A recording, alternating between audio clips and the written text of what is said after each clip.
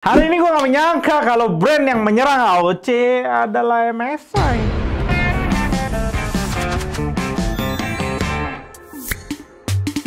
MAG 301 CR2. MSI sebenarnya di awal nggak pengen gue review produk ini. Karena produk ini tuh nggak termasuk hero produknya mereka. Yang intinya ini bukan produk yang sebenarnya mereka mau promosiin. Tapi mungkin karena hal itu juga, harga monitor di sebelah gue ini cukup sehat dari MSI. Soalnya banyak tuh ya tipe lain, agak melawak harganya kalau gue lihat. Dan karena MSI nggak mau dan gue tetap kekeh, ya akhirnya gue ngomong, lu yakin lu nggak mau di review? Ini kemarin AOC di segmen yang ini, yang sama nih gue review banyak banget loh yang nanyain dan maksudnya. Oh ada tipe apaan bro? Singkat cerita monitornya mau juga akhirnya di review ya kayaknya gaya adu domba brand harus dilakukan. Segmen ini menarik untuk direview karena ternyata segmen ini banyak dicari oleh para antusias game balapan. Kelihatan jelas banget dari komen kalian tuh banyak yang nanyain kapan AOC 30 inch resmi di Indonesia. Ya banyaknya bukan yang banyak-banyak banget gitu sih, karena di Indonesia ya gamenya dinominasi si Beng Beng ini. Ya. Tapi gue yakin pasti ada pasarnya karena seperti gue bilang sebelumnya di video AOC, untuk nge-push 1080p di 200 Hz akan terhitung ringan dan tentunya ketika lo bisa capai 200 fps di sini balapan akan sangat sangat terasa smooth. Spek MSI ini tentunya masuk ke segmen yang sama dengan AOC kemarin. 30 inch 200 Hz WFHD resolution model tahun 2020. Modelnya cukup lama ya sebenarnya udah sekitar 2 tahun yang lalu hitungannya karena sekarang udah mau 2022. Menariknya ternyata panel bit damp-nya ngalahin AOC MSI udah 8 bits plus FRC dan ternyata MSI sendiri udah refresh ke tipe 2021-nya yang nggak masuk ke Indonesia MAG 301 CR3. Anehnya itu kenapa di upgrade standnya jadi kotak gitu. Entah apa alasannya untuk hemat space di meja kali ya. Menariknya di tipe ini nih, karena ini brand MSI, jelas build quality jauh di atas AOC. Standnya full metal, dicat silver, dan dibikin desain monitor itu agak terbang dari meja. Punya kesan keren tersendiri. Kakinya tebel banget, punya desain lingkaran yang mantep pas dipegang. Dan karena keduanya bagus, head adjustment dan tiltnya jadi sangat mulus dimainin. Nggak berhenti di sana, swivel ada di sini dan sangat-sangat mulus. Dan ternyata ini monitor curve yang kasih kita vertikal dua arah. Entah apa alasannya MSI kasih fitur ini, karena secara standnya itu kan nggak tinggi-tinggi banget. Pas lu vertikalin monitor ultrawide ya udah pasti mentok meja punya.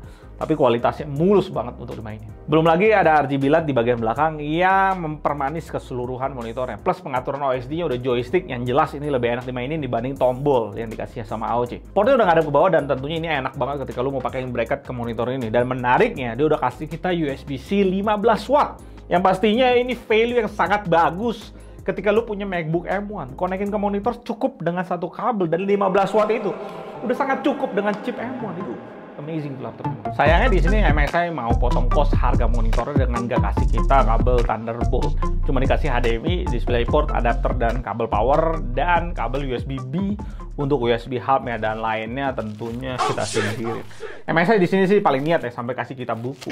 Lempar jadi lebih pakem sih. Untuk motion blur-nya karena ini panel VA tentunya nggak bagus-bagus banget. Selain cukup buram UFO-nya walaupun di 200 fps, black ghosting-nya juga sangat panjang di belakang UFO-nya.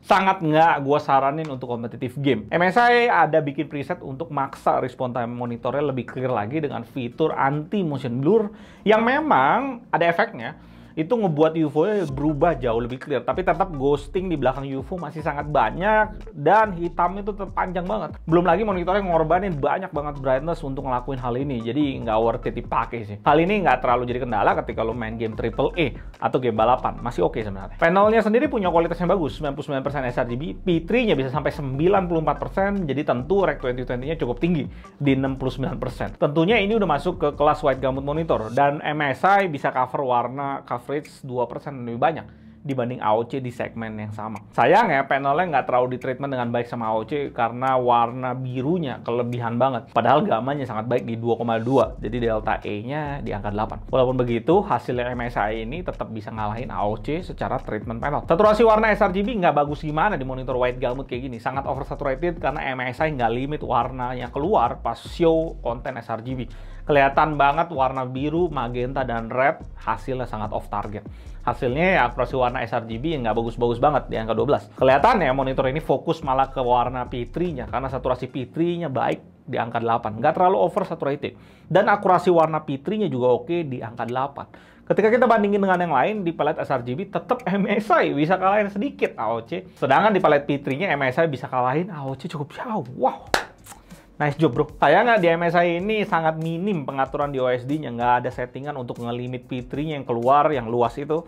Jadi langsung aja gue kalibrasi manual, targetnya ke 200 nits. Kalian bisa pakai settingan ini. Akurasi putih bisa lebih rapi dengan CCT ke 6800 dan delta E turun lebih akurat ke angka 6. Sayangnya gamanya jadi agak kurang di 2,1. Akurasi warna sRGB tetap nggak terlalu menarik, jadi ya kita bisa simpulin memang ini bukan monitor yang dirancang untuk kerja di palet sRGB. Beda dengan palet V3-nya, justru saturasi warna bisa lebih akurat dan akurasi warnanya jadi lebih baik sedikit. Dan berikutnya gue coba kalibrasi dengan sisi profile, akurasi putih memang bisa langsung sempurna. Di sisi yang langsung ke 6500, putihnya sangat baik gamma tetap nggak bisa perfect banget ke 2,2. Di palet sRGB tetap nggak bisa dibenerin, saturasi warna dan akurasi warnanya tetap nggak menarik untuk dilihat. Beda ketika kita lihat palet P3-nya. Saturasi warna jadi lebih akurat dan paling jelas kelihatan di akurasi warna P3 jadi sangat akurat di angka 4. Panelnya MSI ini bisa lo andelin asal lo kerja di space display P3 karena kualitas sRGB-nya nggak terlalu akurat dan oversaturated. Sayangnya dengan segalanya yang gua tes bagus itu, MSI ini struggle untuk keluarin kontras terbaik panel VA. Karena kita cuma bisa dapetin 1934 banding 1. Struggle-nya sama sih kayak AOC yang kualitasnya di bawah MSI ini. Dan brightness-nya juga kacau di MSI ini karena panelnya kurang di treatment dengan baik di warna birunya. Jadi setelah dikalibrasi, brightness cuma dapetin 200 nits lebih dikit. Dan ini jelas terbantai dibanding AOC yang kasih kita brightness hampir 400 nits. Menariknya memang MSI ini kasih kita value tersendiri yang sebenarnya kalau lo mau hitung-hitung ya, jauh di atas yang dikasih AOC dengan harganya cuma 5 juta pas dan garansi 3 tahun full dari MSI Indonesia. AOC belum gua tahu resminya berapa, tapi di China di harga 4 juta pas. Dengan beda 1 juta, value yang dikasih MSI ini sangat menarik. Dia kasih lu USB-C yang memang biasanya di kelas monitor mid sampai high Perbedaan monitor USB-C dan non USB-C memang sekitar 1 juta. Dikasih kita build quality yang lebih baik dari AOC dan ada RGB light di bagian belakang. Dan dari hasil pengetesan juga panelnya lebih akurat dari AOC. Tapi memang lo masih perhatiin brightness yang rendah. Nice job MSI. Walaupun lo nggak lihat ini sebagai produk yang mesti lo fokusin, tapi tetap ini punya pasar niche sendiri. Tentunya orang-orang yang mau main game balapan dan nggak harus punya GPU monster. Karena untuk push 1080p di 200 Hz nggak terlalu gimana sulit dibanding 1440p ultrawide. Dan ini jadi jawaban satu-satunya buat pasar game balapan di pasar. Karena segmen ini sementara nggak ada brand lain yang punya. Satu-satunya MSI loh yang punya. Ya OC nanti, itu gua tahu sih apa. Di sisi lainnya, ada dilema ketika lo mau keluarin 5 juta di segmen ini. Dilemanya muncul karena ada Xiaomi 34 inch yang non resmi di Indonesia, cuma beda 800 ribu dari MSI ini. 800 ribu gue bisa bilang itu angka yang sangat murah kecil dan murah. Karena lu dikasih sama Xiaomi kualitas yang udah beda kelas, beda kasta, beda dunia dengan MSI di sini, yaitu WQHD 144 Hz. Itu spek yang gila banget men dan sangat worth it di harga segitu. Hal berikutnya adalah di China sana harga sudah sentuh di 4,5 juta untuk ultrawide 34 inch itu. Tahun depan sih harga pasti turun tuh yang non resmi.